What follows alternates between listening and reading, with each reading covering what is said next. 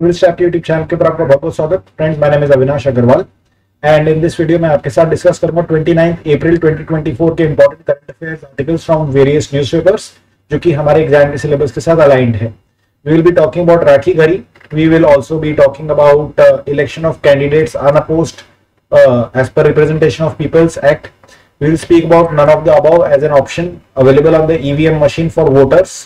उसके बाद हम बात करेंगे direct seeding of rice DSR के बारे में और वो कैसे हमारे को यील्ड को इंप्रूव करने के अंदर मदद कर सकती है। We will talk about significance of carrier aviation from a naval point of view from an internal security point of view also be talking about uh, a special operation that was done to seize 600 crore worth of drugs coming in from uh, the side of Pakistan. तो ये operation करा गया है इसके बारे में बात करेंगे हम। एमडीएच के एक्सपोर्ट्स को जो है काफ़ी प्रॉब्लम हो रही है। एमडीएच मसालों के एक्सपोर्ट्स जो यूएसए के अंदर जाते हैं, उन एक्सपोर्ट्स को रोका जा रहा है because of contamination related issues what are to understand that apart from that we will also talk about the strengthening of rupee exchange rate under the Modi government real effective exchange rate terms के अंदर जो है rupee की strengthening हुई है।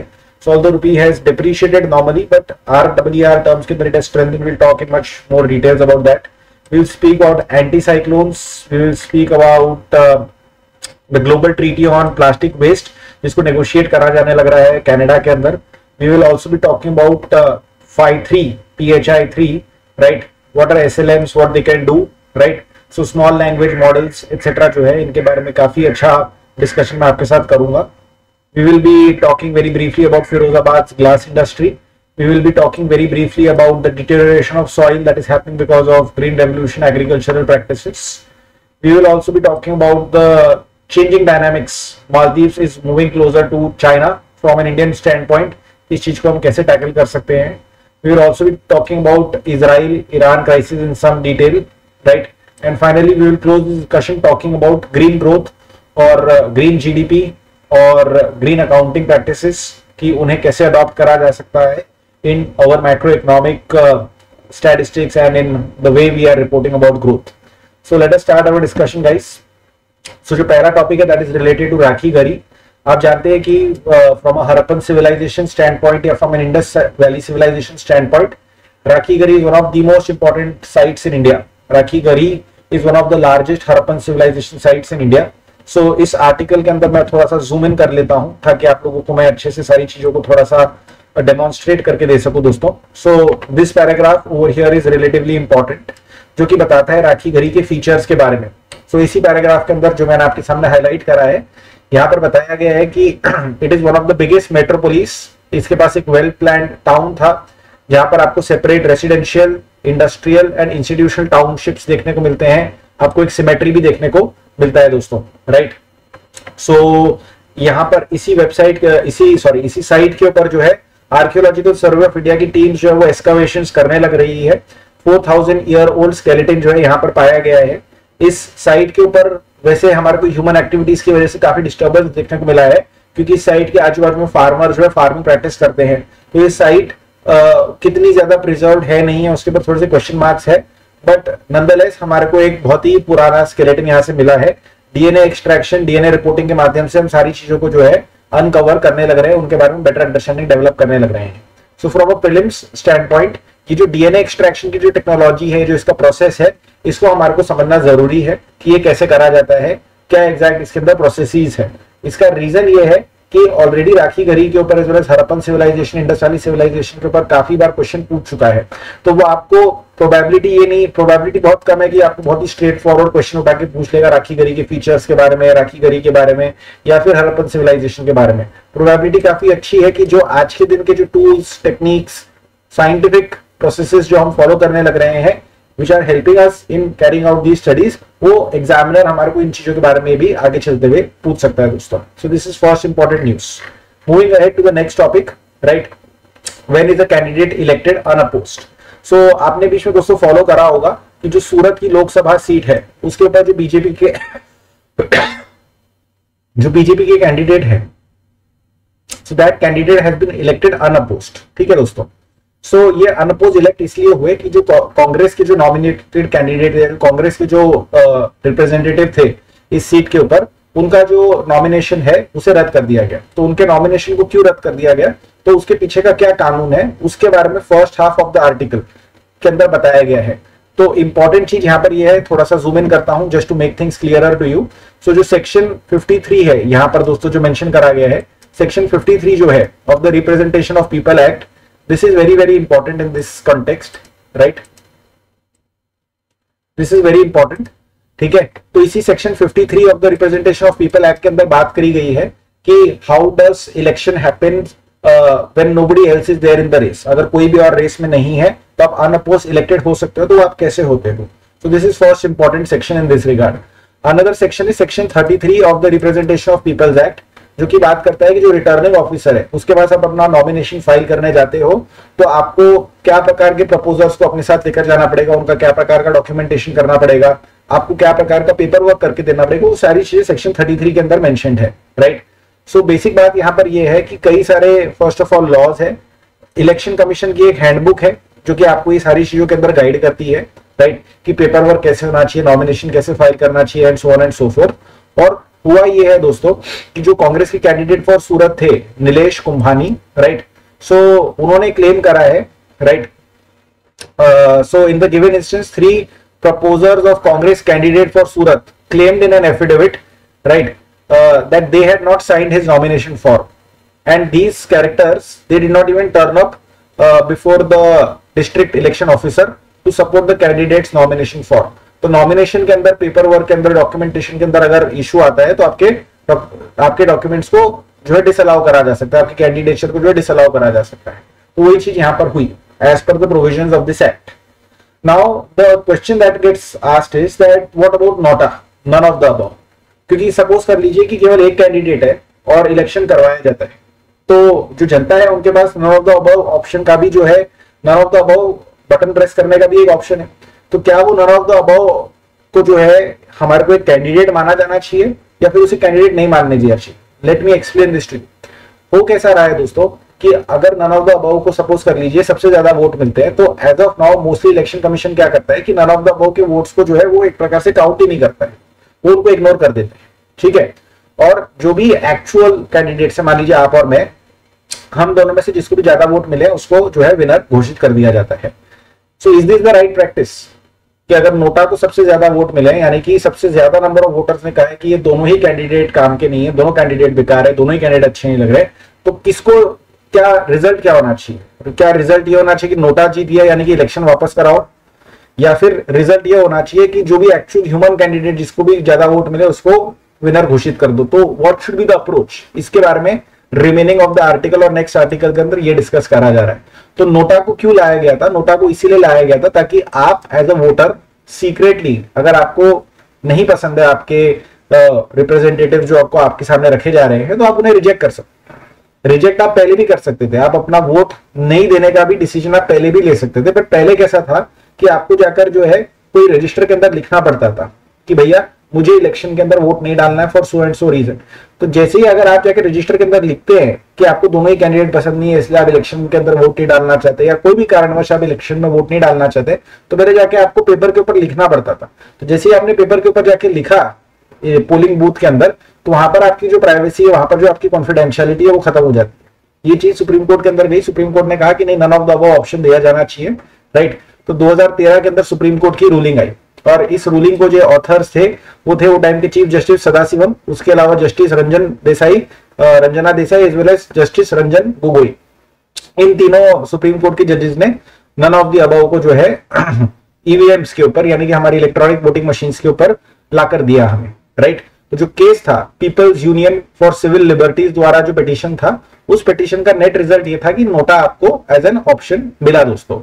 अब NOTA आने के बाद से क्या नोटा की रेलेवेंस है या नहीं है? इसके ऊपर यहाँ पर अब बातचीत करी जाने लग रही है। अब जैसे फॉर एग्ज़ाम्पल ये वाले पैराग्राफ में बहुत अच्छी बात बताई गई है दोस्तों राइट कि महाराष्ट्र के अंदर जो वहाँ की स्टेट इलेक्शन कमिश्नर है कमीशन है, उन्होंने कहा कि किसी भी इलेक्शन के अंदर यदि अगर नोटा को सबसे ज़्यादा वोट मिल जाते हैं तो उस इलेक्शन की रीपोलिंग करवाई जाएगी।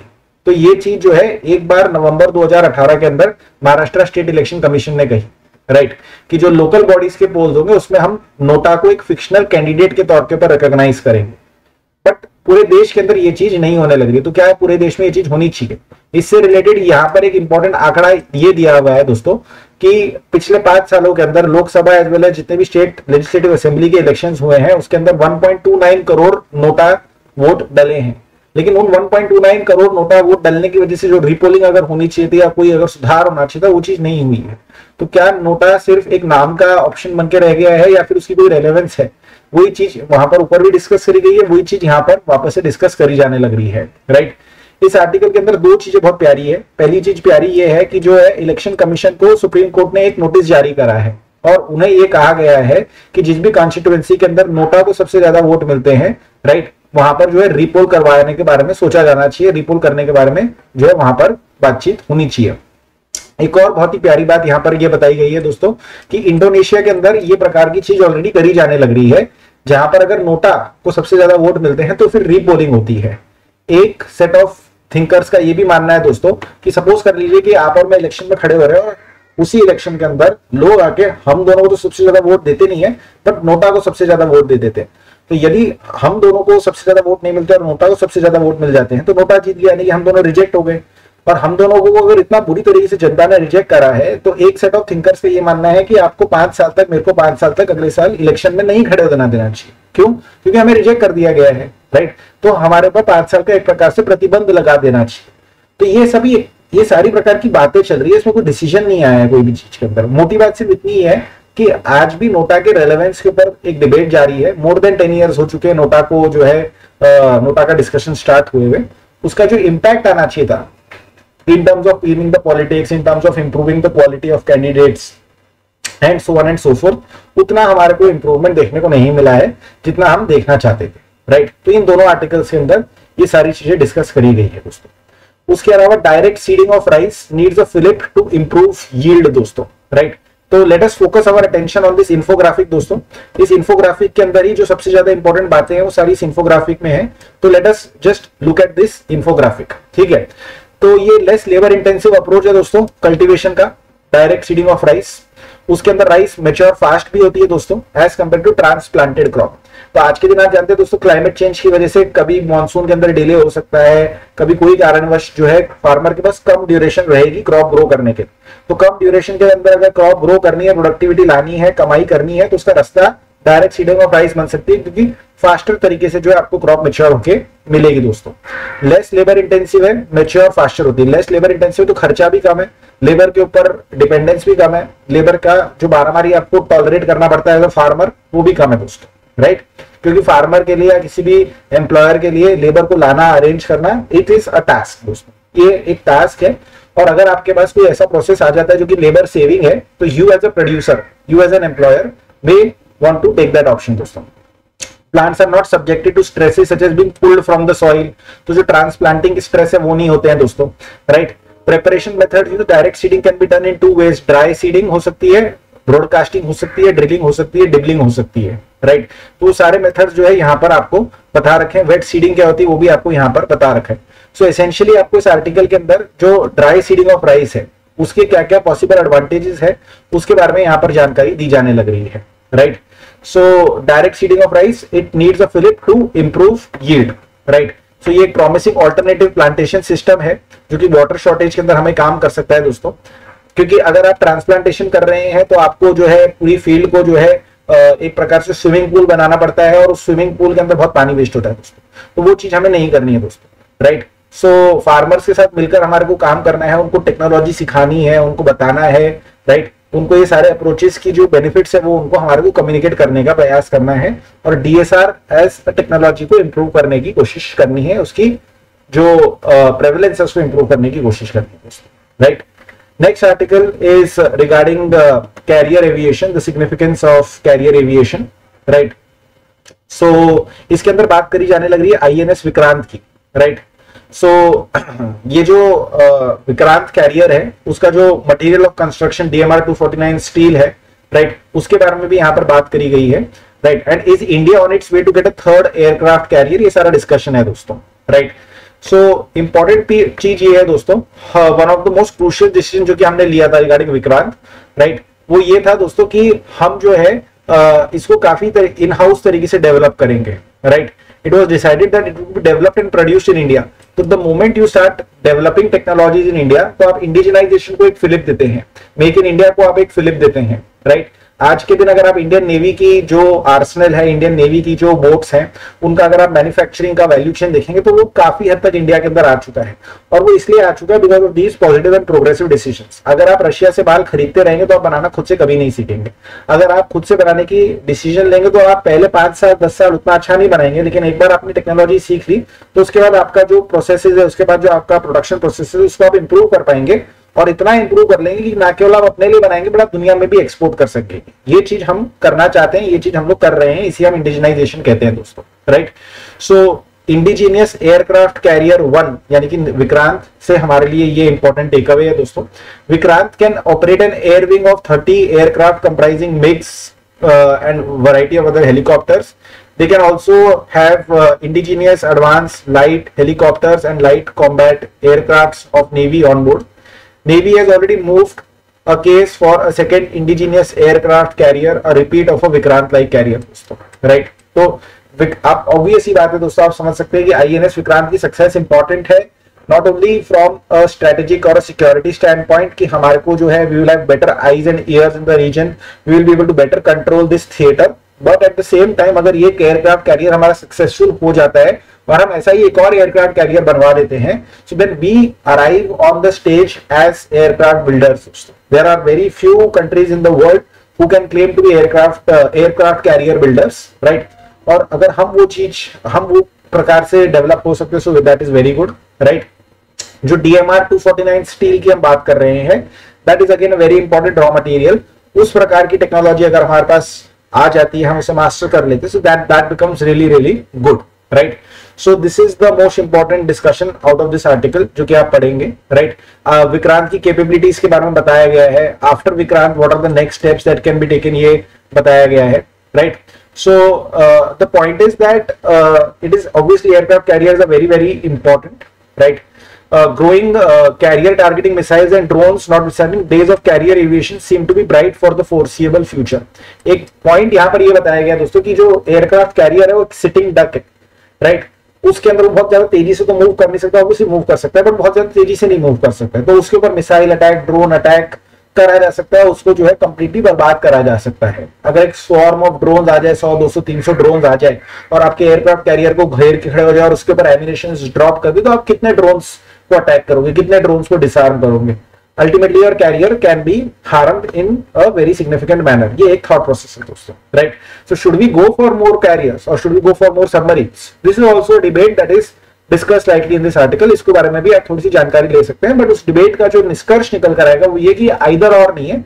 The way thing stand so far as the Indian Ocean is concern so far as India is concern हमारे को दोनों चीज़ों की रिक्वायरमेंट है दोस्तों। So that's the basic idea this is a very small article from our point of view 600 crore के drugs पकड़े गए हैं। तीन institution that is coast guard anti terrorism squad as well as the narcotics bureau right so narcotics control bureau so they have been involve in this operation इस operation का नाम है Sagar Manthan two right आप देख सकते हैं दोस्तों की जो ऑर्गेनाइज क्राइम है, जो ड्रग पेडलिंग है राइट वो इंडिया के आजू बाजू में जो गोल्डन ट्रायंगल गोल्डन क्रिसेंट प्रकार के जो कॉन्सेप्ट्स हैं, वो कितना ज़्यादा रेलेवेंट है?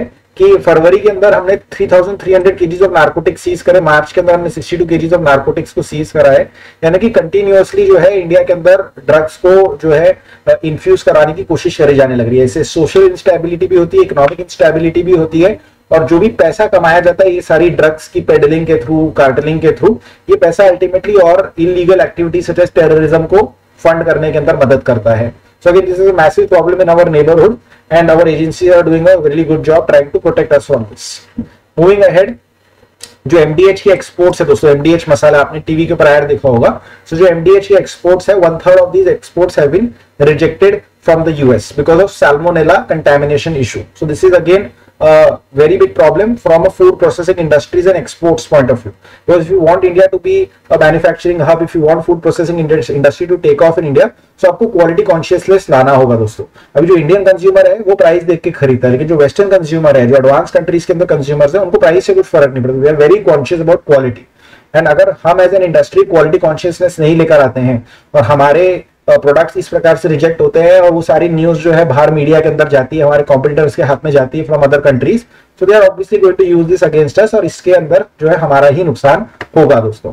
तो इस आर्टिकल को बेस बना के from prelim stand point salmonella क्या है, उसकी पूरी इंफॉर्मेशन यहाँ पर दी गई है राइट जैसे कि for example salmonella is associated with animal and animal products right इसका ट्रांसफ़र टू ह्यूमन बींग्स कैसे होता है फ़ूड के थ्रू होता है रॉ फ़ूड के थ्रू होता है अंडर कुक फ़ूड के थ्रू होता है so on and so forth right so so, ये बीमारी के बारे में बता दिया गया है और इस बीमारी को जो जो कॉज करता है जो पैथोजन है उसके बारे में भी सारी इंफॉर्मेशन मैंने यहाँ पर दे रखी है इस डॉक्यूमेंट के अंदर। Right combustion again this is basic science का टॉपिक जो कि आप एनसीआरटी e में भी पढ़े होंगे। सो so, आप internal combustion engine are everywhere combustion का मतलब क्या होता है?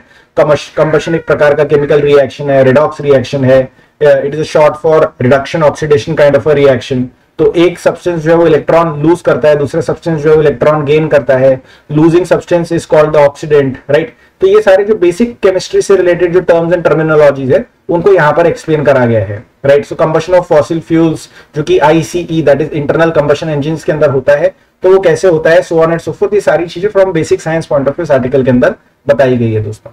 ये बहुत ही इकोनॉमिकली इकोनॉमिक्स का जो है बहुत ही स्ट्रॉन्ग और टेक्निकल प्रकार का आर्टिकल है जो कि आपको एक्सप्लेन कर रहा है कि हाउ द रूपी है strengthened under the Modi government दोस्तों राइट सो so, इसके लिए मेरे को थोड़ा सा जूम करना पड़ेगा तो मैं आपको अच्छे से बता पाऊँगा सारी चीज़ों को राइट तो देखिए दोस्तों इस सेक्शन के अंदर ये वाले दोनों सेक्शन के अंदर जो बात करी गई है वो ये बात करी गई है कि जो नॉमिनल एक्सचेंज रेट का जो डिप्रिसिएशन है वो यूपीए के 10 सालों के अंदर यानी कि 2004 से 2014 के बीच में कितना डिप्रिसिएशन हुआ था उसके बारे में बताया गया और फिर मोदी जी के 2014 से अभी तक के पीरियड के अंदर रुपये का कितना डिप्रिसिएशन हुआ है, उसके बारे में बताया गया। तो मोटा मोटी सो, दोनों पीरियड के अंदर सेम लेवल ऑफ़ डिप्रिसिएशन हुआ है परसेंटेज वाइज राइट कि लगभग छत्तीस, छब्बीस, सत्ताईस परसेंट का डिप्रिसिएशन 2004 से 14 के बीच में हुआ था।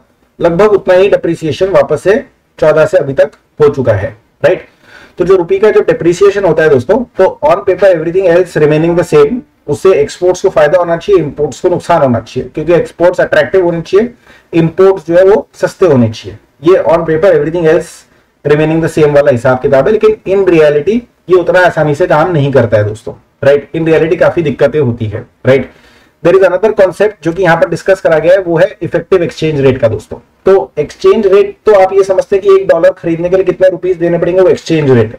इफ़ेक्टिव एक्सचेंज रेट क्या होती है दोस्तों? इफ़ेक्टिव एक्सचेंज रेट का मतलब ये होता है कि इंडिया की करेंसी को कंपेयर करा जाता है विद लेटर से सिक्स अदर करेंसीज राइट तो सिक्स अदर करेंसीज कौन सी करेंसीज है? वो हमारे मोस्ट इंपॉर्टेंट ट्रेडिंग पार्टनर्स की करेंसीज है। जैसे उसमें यूएस आ जाएगा यूरोप आ जाएगा चाइना आ जाएगा जापान आ जाएगा हांगकॉन्ग आ जाएगा राइट और ब्रिटेन आ जाएगा लेटर से right so the point is that कि हम जो है, हमारी करेंसी को इन छह देशों की या छह रीजन की करेंसी के साथ कंपेयर करते हैं राइट सो उससे हमारे को एक जो है आइडिया निकल कर आता है कि what is the effective exchange rate right छह क्यों? चालीस क्यों नहीं? तो आप छह कंट्रीज़ की करेंसीज के साथ भी कंपेयर कर सकते हैं, जो कि मोस्ट इंपॉर्टेंट है, या फिर आप चालीस कंट्री की करेंसीज के साथ भी कंपेयर कर सकते हो। तो चालीस कंट्रीज़ की करेंसीज के साथ भी कंपेयर करा जाता है रुपी को राइट और छह के साथ भी करा जाता है। तो उससे हमारे को एक आइडिया मिलता है कि वीज़ा भी our most important trading partners हमारी करेंसी कैसे बिहेव करने लग रही है। दो प्रकार से आप अपनी करेंसी को करेंसी का इफ़ेक्टिव एक्सचेंज रेट निकाल सकते हो nominal as well as real ठीक है? तो नॉमिनल इफ़ेक्टिव एक्सचेंज रेट के अंदर हम क्या कर रहे हैं कि जो इन्फ्लेशन है, उसके लिए कोई एडजस्टमेंट नहीं कर रहे हैं। जो भी टुडे के प्राइसेस है, यानी कि आज के प्राइसेस है राइट यानी कि जो आज के जो भी नंबर्स है, उनको ले रहे हैं, उनको कंपेयर करें दैट्स हम इसमें कोई परचेसिंग पावर नहीं देख रहे। हम ये नहीं देख रहे कि इंडिया का सौ रुपया और यूएस का एक डॉलर की क्या खरीदने की क्षमता है, उसका परचेसिंग पावर क्या है, वहाँ पर महँगाई क्या है, ये सारी चीज़ों को हम फैक्टर नहीं कर रहे। जैसे ही हम ये सारी चीज़ों को फैक्टर करने लग जाते हैं तो हम मूव अवे करते हैं from nominal effective exchange rate to real effective exchange ठीक है? So the moment you bring inflation into consideration the moment you bring prices into consideration, the moment you bring purchasing power into consideration, you move away from nominal towards real तो वही चीज़ इस article के अंदर discuss करी गई है। इस article का मोस्ट इंपॉर्टेंट टेक अवे ये ग्राफ है दोस्तों। इस ग्राफ के अंदर ये दिखाया गया है दैट नॉमिनली हमारे, हमारी जो इफ़ेक्टिव एक्सचेंज रेट है, वो डिप्रिशिएट करी है दोस्तों। नीचे गिरना यानी कि डिप्रिसिएशन है इस पर्टिकुलर ग्राफ के कंटेक्स के अंदर। So whether it is forty currency basket के साथ आप कंपेयर करो या सिक्स करेंसी बास्केट के साथ कंपेयर करो, आपको रुपी का डिप्रिसिएशन देखने को मिलेगा दोस्तों। लेकिन अगर आप रियल इफ़ेक्टिव एक्सचेंज रेट की बात कर रहे हो तो रियल टर्म्स के अंदर रुपी स्ट्रेंथन हुआ है। तो रियल टर्म्स के अंदर रुपी स्ट्रेंथन कैसे हो गया? रियल टर्म्स के अंदर रुपी स्ट्रेंथन इसलिए हुआ है क्योंकि inflation in India has been relatively lesser than other countries so जो रुपी का परचेसिंग पावर है is better relative than other countries because हमारे यहाँ पर इन्फ्लेशन कंट्रोल है। शायद हमारी आरबीआई ने बेटर काम करा है, शायद हमारी गवर्नमेंट ने बेटर काम करा है। तो रीर का जो है, हमारे को जो है अप्रिसिएशन देखने को मिला है दोस्तों राइट तो ये सारी चीज़ें यहाँ पर डिस्कस करी जाने लग रही है। लेकिन अगर रियल इफ़ेक्टिव एक्सचेंज रेट का अप्रिसिएशन हुआ है जेनुअनली अगर उसका अप्रिसिएशन हुआ है तो आप जानते हैं कि everything else remaining the same appreciation यानी कि एक्सपोर्ट्स का नुकसान इंपोर्ट को फ़ायदा। तो क्या हम हमारे एक्सपोर्ट्स को नुकसान करवाना चाहते हैं और इंपोर्ट्स को फ़ायदा देना चाहते हैं? यानी कि एक्सपोर्ट कम करवाना चाहते हैं इंपोर्ट बढ़वाना चाहते हैं, क्या ये हम करना चाहते हैं? राइट क्या हम हमारी ट्रेड कॉम्पिटिटिवनेस लूज करना चाहते हैं? राइट तो ये सारे क्वेश्चन जो है हमारे को आंसर करने पड़ते हैं। So this is a very very good article to read it's a very important concept need and read तो इसको मैंने आपको सारा डिस्कस करके दे दिया है and I have given this tabular compilation as well to you that how does NEER as a concept compare with late REER as a concept I already explain it to you there is any doubt you can always try to get in touch okay moving ahead in this article anti cyclones के बारे में बात करी गई है right right? So anti cyclones hanging even now over India link warming to heat दोस्तों. Right? So what is anti cyclones first of all तो northern hemisphere के अंदर अगर आपको क्लॉकवाइज सर्कुलेशन ऑफ़ विंड देखने को मिल रहा है तो उसको हम anti cyclone anti cyclonic circulation बोलेंगे दोस्तों। इस एंटी साइक्लोनिक सर्कुलेशन का एक मोस्ट इंपॉर्टेंट एट्रीब्यूट जिस आर्टिकल के अंदर बताया गया वो ये है कि एयर ऊपर से जो है नीचे सिंक करेगी। तो जब एयर ऊपर से नीचे सिंक करती है तो नीचे वाली एयर जो है वो कंप्रेस होती है और वो हीटअप होती है। और वो हीटअप होती है तो गर्मी पैदा होती है। और गर्मी पैदा होती है तो आप और मैं परेशान होते हैं। राइट ये एंटी साइक्लोनिक सर्कुलेशन इंडिया के अंदर कोई नई बात नहीं है बट इसको एल नीनो से अगर आप जोड़ के देखेंगे तो you will see that this anti cyclonic circulation along with El Nino creates a very strong probability of heat waves और वो जब हीट वेव पैदा होना स्टार्ट होती है तो उसको हमारे को प्रिडिक्ट करना आना चाहिए। और उसको हमारे को ना केवल प्रिडिक्ट करना आना चाहिए बट सही से प्रिडिक्ट करके, सही एक्शंस लोकल लेवल पे लेने आने चाहिए, तब जाकर हम जो है लाइफ एंड प्रॉपर्टी का जो लॉसेज है, उसको हम जो है मिटिगेट कर पाएँगे, उसको जो है हम कम कर पाएँगे। तो ये आर्टिकल की सारी चीज़ें आपको अंडरस्टैंड करने के अंदर मदद करता है दोस्तों। तो एंटी साइक्लोन का मतलब क्या होता है? वो मैंने आपको एक्सप्लेन कर दिया है राइट और इस आर्टिकल के अंदर सबसे बेस्ट चीज़ मैं आपको बताता हूँ दोस्तों। सबसे बेस्ट चीज़ यहाँ पर लिखी गई है दोस्तों राइट कि जो एक थ्री स्टेप अप्रोच है ready set go system right कि जो आपका डिजास्टर मैनेजमेंट होगा वो कैसे होगा? जो अर्ली वार्निंग सिस्टम्स है, उनको कैसे डिज़ाइन करना चाहिए? तो रेडी सेट गो सिस्टम है, उसको यहाँ पर बहुत ही ब्यूटीफुल तरीके से एक्सप्लेन करा गया है। तो अगर आप डिजास्टर मैनेजमेंट के बारे में कुछ भी पढ़ना चाहते हैं, बहुत अच्छा पढ़ना चाहते हैं तो आपको ये चार पाँच पैराग्राफ पढ़ने चाहिए दोस्तों। एकदम ए वन लेवल की आपको इन्फॉर्मेशन यहाँ पर से मिलेगी, जो कि आपको पढ़ के बहुत अच्छा लगेगा। दोस्तों do have a look at this right उसके बाद there is a global treaty on plastic waste जो कि नेगोशिएशन uh, चलने लग रही है। So this negotiation is happening in Canada objective हमारा ये है कि by the end of this year Korea के अंदर नवंबर दिसंबर में इस ट्रीटी को हमारे को फाइनलाइज करना है। एंड एटलीस्ट जो सिंगल सिंगल यूज़ प्लास्टिक है उसको हमारे को कंप्लीटली जो है फ़ेज़ आउट करवाने की कोशिश करनी है। Why do we want to do that because जो प्लास्टिक है जब एनवायरमेंट के अंदर एंटर होता है तो वो छोटे छोटे छोटे छोटे फ्रेगमेंट्स के अंदर ब्रेक डाउन हो जाता है। कंप्लीटली एलिमिनेट नहीं होता है, छोटे फ्रेगमेंट्स में ब्रेक डाउन हो जाता है। और फिर वो छोटे fragments through food through water through air जो है आपके सिस्टम के अंदर या तो इंजेस्ट या फिर इनहेल हो सकते हैं। अब ये जो प्लास्टिक के फ्रेगमेंट्स है, इनके अंदर सोलह हज़ार डिफरेंट प्रकार के हार्मफुल केमिकल्स पाए जाते हैं, जो कि दस प्रकार की बीमारियाँ आपको कर सकते हैं। So the important thing is that इस आर्टिकल के अंदर बहुत सारा अच्छा डेटा दिया गया है कि क्या प्रकार का वेस्ट इस आर्टिकल प्लास्टिक वेस्ट किस प्रकार का जनरेट होने लग रहा है। उसका पूरा डिटेल डिटेल यहाँ पर दे रखा है।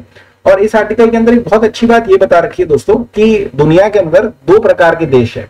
एक है हाई एम्बिशन कंट्रीज़ या high ambition coalition of countries such as European Union African countries जो कि पूरी तरीके से ये प्लास्टिक की वैल्यू चेन प्रोडक्शन को बंद करवाना चाहते हैं राइट right. तो उनकी इच्छा ये है कि जो भी ट्रीटी बने, उसके अंदर जो प्रोडक्शन का एस्पेक्ट है, उसको भी लेकर आया जाए और प्रोडक्शन को फ़ेज़ आउट करवाया जाए और on the other hand countries है जो कि फॉसिल फ्यूल प्रोड्यूसर्स हैं वो लोग जो है प्लास्टिक के प्रोडक्शन को फ़ेज़ आउट करने के उतने ज़्यादा फेवर में नहीं है। उनका मानना ये है कि जो ट्रीटी का फोकस होना चाहिए ट्रीटी का फोकस होना चाहिए रिसाइकलमेंट एंड वेस्ट मैनेजमेंट क्यों ऐसा है?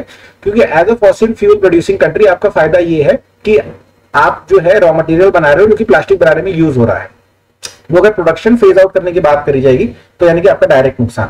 तो आप अपना डायरेक्ट नुकसान चाहते नहीं जो ट्रीटी का नेगोशिएशन है वो अटका हुआ कहाँ पर है कि one set of countries don't want to bring production into the ambit of this treaty another set of countries want to bring the entire value chain into the ambit of this treaty तो यहाँ पर जो है आपका production यहाँ पर जो है आपका नेगोशिएशन अटका हुआ है। तो इस ब्यूटीफुल आर्टिकल के अंदर वो सारी चीज़ें आपको जो है डिस्कस करके बताई गई है। Right? Uh, moving ahead microsoft has launched 5.3 what are slms slms and what can they so, microsoft ने जो है अनवील करा है latest version of its lightweight A I model five three right जो कि first among three small language model है दोस्तों अभी जो स्मॉल लैंग्वेज मॉडल जो है, ये कॉम्पैक्ट वर्जन है एल के राइट right? जो कि ह्यूमन लैंग्वेज को समझने के अंदर और जनरेट करने के अंदर हेल्प कर सकते हैं दोस्तों राइट right? अब ये जो हाई क्वालिटी मॉडल्स हैं, इनके एप्लीकेशंस डेवलप करवाए जा सकते हैं right so the fact that these models have been developed right तो इसकी इसकी खास बात क्या है दोस्तों? इसकी खास बात ये है राइट कि इनके अंदर जो कंप्यूटेशनल पावर है वो मच लेस है दोस्तों राइट यानी कि आप इन प्रकार के मॉडल्स को उठाकर जो है वे, वेरियस प्रकार के दूसरे एप्लीकेशंस भी कॉस्ट इफ़ेक्टिव तरीके से डेवलप कर सकते हो right so the point is that अगर जो हमारा लार्ज लैंग्वेज मॉडल्स है वही काम अगर अगर हमारे स्मॉल लैंग्वेज मॉडल्स करके दे सकते हैं तो जो हमारे लार्ज लैंग्वेज मॉडल्स जिनको हम नहीं यूज़ कर सकते हैं हर एक डिवाइसेस के ऊपर हर एक एप्लीकेशन के अंदर उसको नहीं इंटीग्रेट कर सकते नहीं यूज़ कर सकते तो क्या हम एस को उसका सब्सिट्यूट बना के यूज़ कर सकते हैं दोस्तों राइट सो so, अब जैसे फॉर एग्जांपल यहाँ पर एक बहुत ही इंपॉर्टेंट अच्छी केस स्टडी दी गई है कि आईटीसी जो कि एक लीडिंग बिज़नेस कॉन्ग्लोमरेट है इंडिया से वो फाइव थ्री को यूज़ करने लग रहा है कोलैबोरेशन विद माइक्रोसॉफ्ट के अंदर Edge for uh, on co-pilot for कृषि मित्रा which is a farmer facing app that reaches over million farmers. तो आप देख सकते हैं कि एस जो है एस की लेटेंसी बेटर करी जा सकती है एस का परफॉर्मेंस बेटर करा जा सकता है एस को बेटर फाइन ट्यून करा जा सकता है, उनका पावर कंजम्पशन एनर्जी कंजम्पशन को जो है कम करा जा सकता है right so on and so मो फोर्थ राइट और ये प्रकार के मॉडल्स को फिर हम छोटे डिवाइसेस के ऊपर, अन्य डिवाइसेस के ऊपर भी चला सकते हैं। यानी कि जो एआई मॉडल्स हैं right they can become a part of your day to day life through S ये हमारा नेक्स्ट लेवल ऑफ़ डेवलपमेंट है, जिसके ऊपर हम जाकर आगे काम करने वाले हैं दोस्तों। मूविंग अहेड दोस्तों, फिरोजाबाद के अंदर ग्लास इंडस्ट्री थी। It was famous for glass industry glass bangle industry दोस्तों ग्लास बैंगल लेकिन अभी बिकॉज़ ऑफ़ कल्चरल शिफ्ट बहुत सारे लोग ग्लास बैंगल्स उतना ज़्यादा नहीं पहनते जितना आज से पचास साल पहले पहनते थे। तो अब इस इंडस्ट्री को जो है, यहाँ पर जो है एक प्रकार से री इमेजिन करा जाने लग रहा है and they are trying to move into glass bottle manufacturing इस आर्टिकल की बस इतनी सी इंपॉर्टेंट बात है। वैसे बहुत सारी बातें इसमें इंपॉर्टेंट है but from our point of view बस इतनी सी इंपॉर्टेंट बात है। हीलिंग द सॉइल अगेन ये काफ़ी पुराना टॉपिक है। दोस्तों, आप जानते हैं कि high yielding varieties of seed plus chemical fertilisers plus pesticides plus irrigation को यूज़ करके जो ग्रीन रेवोल्यूशन वाली फ़ार्मिंग करी गई थी, जिसके अंदर दो से तीन क्रॉप एवरी ईयर निकाली जा रही थी कंटिन्यूसली सॉइल को यूज़ करा जाने लग रहा था। इसका एंड रिज़ल्ट ये हुआ था दोस्तों कि जो आपका सॉइल है, वो पूरा पूरा बर्बाद हो चुका था, वो एकदम इनफर्टाइल बन चुका है। अगर वो फर्टिलाइज़र ना अप्लाई करे तो सॉइल से कुछ नहीं प्रोड्यूस करा जा सकता है। आपकी वाटर टेबल डिप्लीट हो चुकी है, आपकी बायोडाइवर्सिटी आपने बर्बाद कर दी है, जहर डाल डाल के अपने फ़ील्ड के अंदर so on and so forth और यही सारी चीज़ों को जब आप एक्सटेंड करोगे तो आपने बेसिकली सॉइल का डिजर्टिफिकेशन करवा दिया है सॉइल को बर्बाद कर दिया। तो अगर आप एग्रीकल्चर को सस्टेनेबल बनाना चाहते हो फ़ूड प्रोटेक्शन को सिक्योर करना चाहते हो, सारी चीज़ें सही ढंग से करना चाहते हो तो आपको सॉइल को हील करना पड़ेगा, जिसके लिए वेरियस प्रकार के स्टेप्स लिए जाने चाहिए सच है इसकी आपको जो है इंटीग्रेटेड पेस्ट मैनेजमेंट करना जाना चाहिए, आपको बायो फर्टिलाइज़र यूज़ करनी चाहिए, आपको बायो पेस्टिसाइड यूज़ करनी चाहिए राइट आपको जो है जो सॉइल का न्यूट्रिएंट बैलेंस है, उसको रीबैलेंस करने का प्रयास करना चाहिए, आपको जो है प्रिसीशन फ़ार्मिंग करनी चाहिए, ताकि जो रिसोर्सेज का वेस्टेज है वो भी कम हो जाए और जो सॉइल का जो बर्बादी है वो भी कम हो जाए, क्योंकि सॉइल एक बार बर्बाद हो गया तो वापस से उसको रीजनरेट करना ऑलमोस्ट इम्पॉसिबल हो जाता है। तो ये सारी प्रकार की स्टैंडर्ड बातें जो कि शायद आपने कई बार पहले भी पढ़ी होंगी, सुनी होंगी, इन्हीं बातों को इस आर्टिकल के अंदर बताया गया है। Right Maldives is moving closer to China again थोड़ा सा पुराना टॉपिक है। बात करेंगे इसके बाद कभी ना कभी। एक और बहुत ही अच्छा आर्टिकल जो कि मुझे आपको बताना है, वो है इसराइल ईरान क्राइसिस के बारे में। इस आर्टिकल के अंदर ये बताया गया है कि अभी तक क्या होने लग रहा था? कि ईरान के इंस्टॉलेशन के ऊपर, ईरान के लोगों के ऊपर, ईरान के सिक्योरिटी ऑफिशियल्स के ऊपर, ईरान के एम्बसी के ऊपर, ईरान के एसेट्स के ऊपर इसराइल कई बार अटैक कर देता था। और ईरान मोटा मोटी चुप रहता था राइट मोटा मोटी चुप इसलिए रहता था क्योंकि ईरान को मालूम था कि इसराइल के खेमे के अंदर अमेरिका बैठा है। अगर ईरान ने ज़्यादा कुछ भी करा तो फिर अमेरिका जो है बीच में आ सकता है। तो ईरान ने हमेशा ये कहा कि हम तुम्हारे से बदला लेंगे, लेकिन ईरान ज़्यादा कुछ करता नहीं था। अब रिसेंटली ईरान ने क्या करा कि इसराइल का जो इसराइल इसराइल के ऊपर उन्होंने जो है ड्रोन से हमला करा। सौ, सवा सौ, डेढ़ सौ ड्रोन का एक झुंड बनाया और उसको जाके इसराइल की जो डिफेंस की जो सिस्टम है, जो डोम सिस्टम है, उसके ऊपर लेकर जाकर उसको सब उन ड्रोन को घेरा दिया। और ये प्रोसेस के माध्यम से उन्होंने इसराइल की जो वीकनेसेस है इसराइल की जो डिफेंस टेक्नोलॉजी है, उसके अंदर जो लूप होल्स है, उसको दुनिया के सामने लाकर रख दिया। ऑब्वियसली बात है कि इसराइल ने प्रॉमिस करा कि हम ईरान के अगेंस्ट एक्शन लेंगे लेकिन अमेरिका ने साफ़ बोल दिया कि देखो बॉस हम आपको जो है ईरान के अगेंस्ट आपको एक्शन लेना आप ले लो, हम आपके भी पे आके कभी भी ईरान के अगेंस्ट कोई एक्शन नहीं लेंगे। इसका सिंपल रीजन ये है क्योंकि ये है कि यूएस खुद के अंदर फटीक है यूएस थका हुआ है यूएस यूक्रेन के अंदर इन्वॉल्व है यूएस को एक नया थिएटर नहीं खोलना है यूएस को वेस्ट एशिया के अंदर सिचुएशन को आउट ऑफ़ कंट्रोल नहीं बनाना है। तो यूएस ने एक साफ़ मैसेज इसराइल को ये दिया है कि आपको डी एस्केलेट करना। पड़ेगा जो भी आपको ईरान के साथ मैटर है, उसको आप डिस्कलेट करिए। आप इतना ज़्यादा वैसे भी हमारे से लड़ाई करने लग रहे हैं, वैसे भी आप हमारे से वेपन्स देने लग रहे हैं राइट वो वेपन्स के हम आपको एड दे रहे हैं उसकी वजह से हमारी पॉलिटिक्स में प्रॉब्लम हो रही है। आप जैसे फॉर एग्जांपल यूएस के अंदर क्वेश्चन मार्क उठाए जा रहे हैं कि आप कब तक इसराइल को सपोर्ट करोगे? आप इसराइल को ह्यूमन राइट्स वायोलेशन में सब आ, ये वायोलेट कर रहे हैं उसमें कैसे आप सपोर्ट कर रहे हो? क्योंकि चौतीस हज़ार लोगों की जाने जा चुकी है। पूरा का पूरा जो पैलेस्टाइन का एरिया था उसके अंदर सब लोगों को आपने रेफ्यूजी बना दिया है। और ये सब हुआ कैसे? ये सब हुआ तो इसराइल को जो है यूएस के आर्म्स की मदद मिली। तो एक तरफा ओपिनियन ये है कि इसराइल की कोई भी हालत में मदद करी जानी चाहिए। दूसरा तरफा ओपिनियन ये है कि इसराइल की मदद करी जानी चाहिए। लेकिन अगर इसराइल ह्यूमन राइट्स का वायोलेशन इस प्रकार से करने लग रहा है तो मदद नहीं करी जानी चाहिए। तो ये सारी प्रति ये सारे के सारे परस्पेक्टिव के अंदर अगर आप देखेंगे तो अब इसराइल और ईरान के बीच की जो ये टेंशन है उसको डी एस्केलेट करने की बात यहाँ पर लिखी गई है। और ईरान का क्या कैलकुलेशन है कि अब ईरान इतना चौड़ा होकर कैसे इसराइल के ऊपर अटैक कर रहे हैं वो आपको समझाया गया है। और इसराइल अब जा, जाकर कहाँ पर फंस रहा है वो आपको यहाँ पर इस आर्टिकल के अंदर बताया गया है दोस्तों। लास्ट आर्टिकल है towards green growth that RBI must assess the impact of climate change on economic stability. इस आर्टिकल के अंदर यही बताया गया है कि आरबीआई ने जो है अब कैलकुलेशन करना स्टार्ट कर दिया है कि बिकॉज़ ऑफ़ क्लाइमेट चेंज हमारी इकोनॉमी को, हमारे प्रोडक्शन को, हमारे आउटपुट को, हमारी जीडीपी ग्रोथ रेट को क्या प्रकार का नुकसान देखने को मिल सकता है। तो in the long term nine percent of our output nine percent of our production can be lost ये बहुत ही ओमिनस प्रकार की जो है रीडिंग आरबीआई ने निकाली है।